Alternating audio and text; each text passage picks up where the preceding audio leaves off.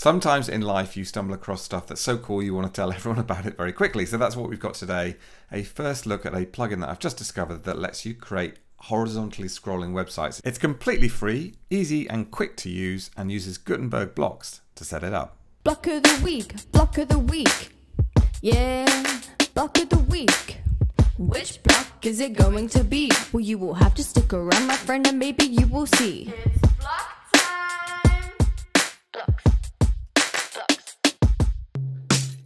Here's a few nice examples of horizontally scrolling websites. Typically how these work is you scroll down and as you scroll down they actually scroll not vertically but horizontally like so. This is really elegant and you see how the slides are actually kind of overlapping each other.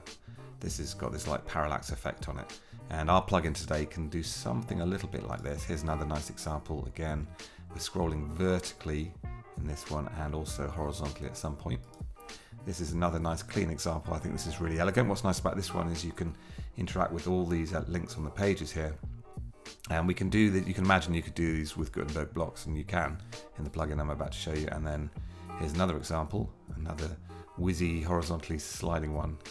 I've got sort of mixed feelings on horizontal sliding websites. They're really, really cool in some ways. I think they're great um, to tell stories, actually. That's where they really shine. Or if you've got a portfolio you want to show off, I think then they really I mean, this is beautiful. It looks fantastic. You get this snazzy cursor effect. And then here's the one that I built. And I just built this very quickly. Uh, these images, by the way, are using Midjourney AI, so those are all generated. And I just added these little arrows and the text on top using Pixelmator, which is a bit like um, Photoshop. And here we go. We're horizontally sliding at the moment. And this is actually a columns block. I'll show you how I did this. And there's another slide and we're going horizontally at the moment but in a minute we're going to go vertically. So this one actually slides vertically down here. And again slides vertically. It's really quite cool. I'm sort of in love with it. Uh, and this is horizontal sliding until we finish the story. So I've used it to kind of mock up a web website that's telling this little story. And this is the plugin that lets us do this. It's called Webyx. I hadn't heard of it before. It's only got about 100 plus installations. It was last updated a couple of months ago it has only five star reviews, only a few reviews because it's not very it's not being used very much, but actually it's got 12, 12 reviews, which is pretty good for a plugin that hasn't been downloaded a massive amount. It has a free version, which it describes here. It also um, claims to have a pro version, but I can't find the pro version.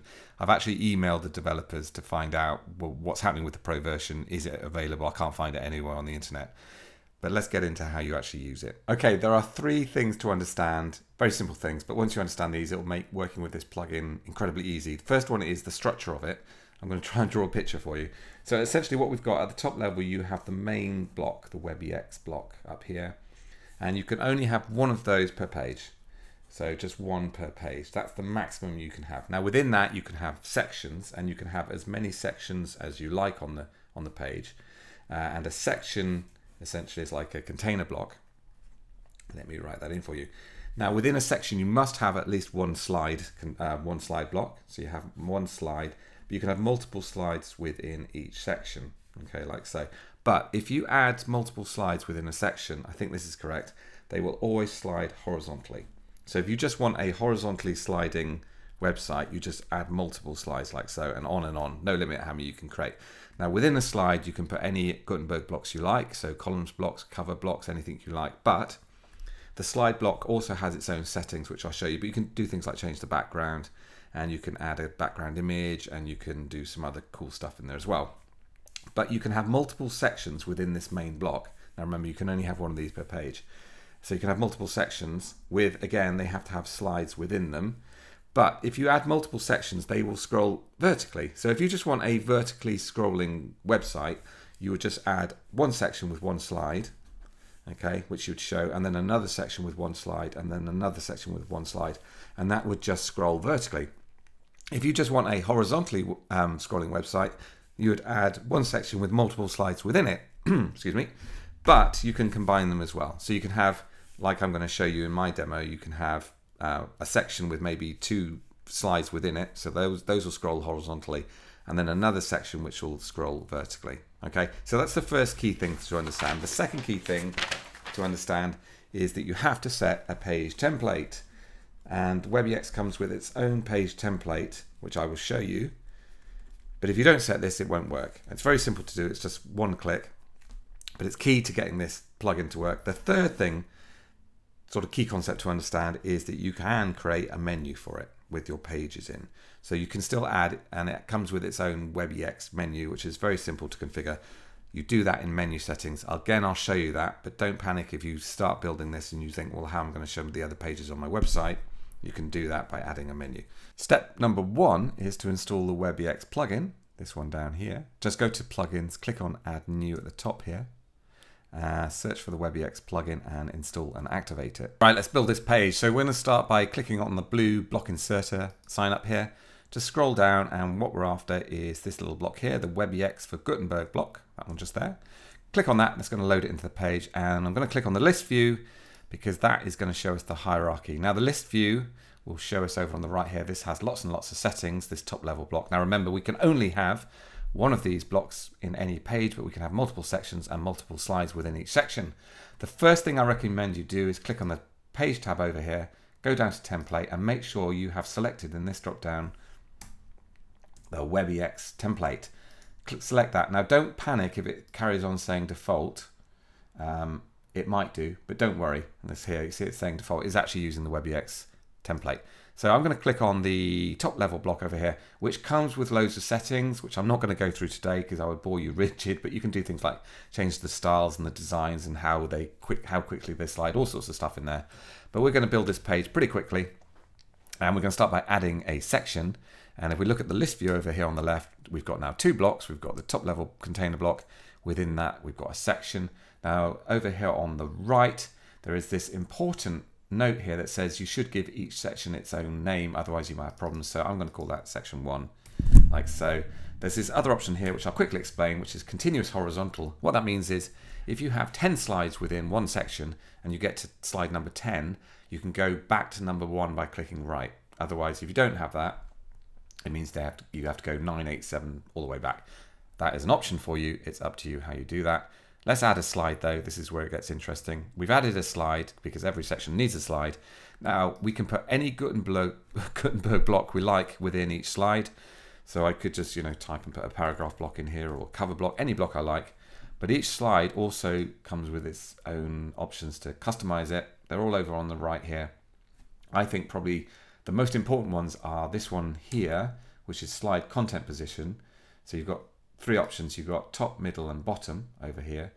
I'm not going to worry about that for my first slide, but I will when I actually put some content in it. The second most important option is you can add a background to it. Okay, so I'm going to add a background image to my slide. I've already got some images I've already got up here, and that will just load that background image in. Now, again, I could put some text in here if I wanted to, so you can have a background image with text on. And let's just publish that and see what we've got, because it you'll see it'll actually take up the full screen of the site, which is kind of cool. So if we add another slide within that section, remember, let's click on the list view up here. That slide will slide horizontally, but if we have multiple sections, those slides will slide vertically. But we're going to add another slide in. So make sure you click on the section option over here in the list view. Click on add slide. And again, we can do whatever we like with this, but all I'm going to do for this slide is add a background image.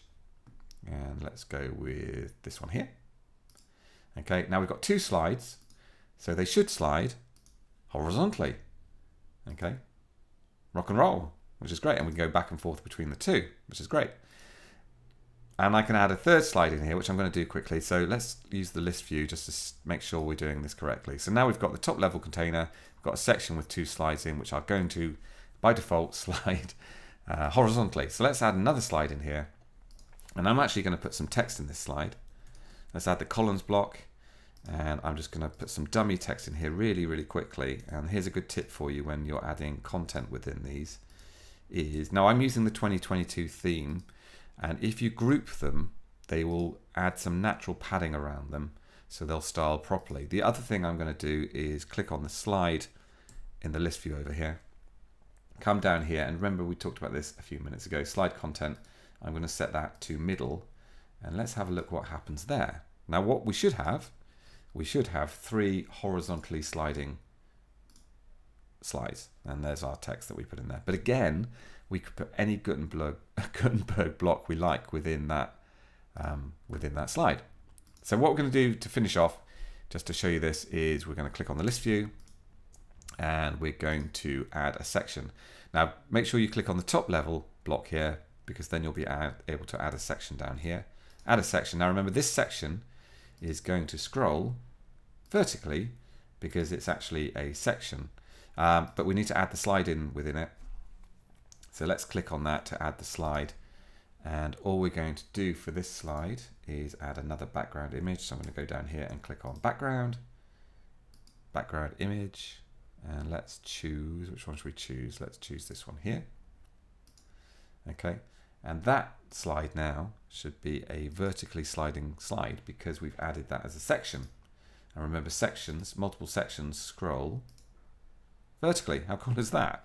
Okay, but if I wanted them all to scroll horizontally, I could literally go back here, click on list view, and let's go into this section and just show you what we've got in the list view here. So you see we've got two sections and four slides. But if I drag this little slide up here into this section, get rid of that initial section, we've just got four slides within one section. So now we should have four horizontally sliding sections, which we do.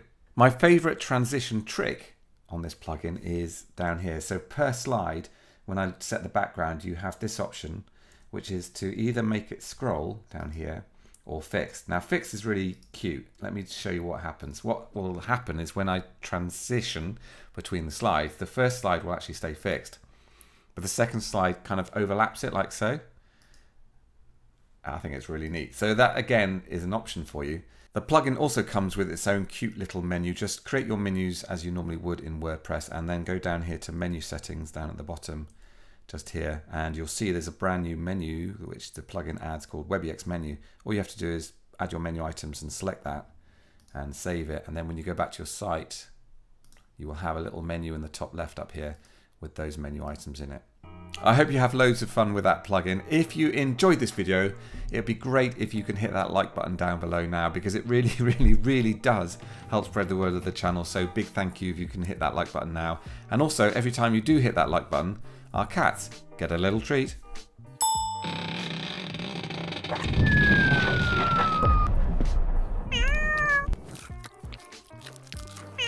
If you want to see more videos like this, just hit that subscribe button below and hit the little bell icon and you'll be notified every time I release a new one. Keep well, and I'll see you soon.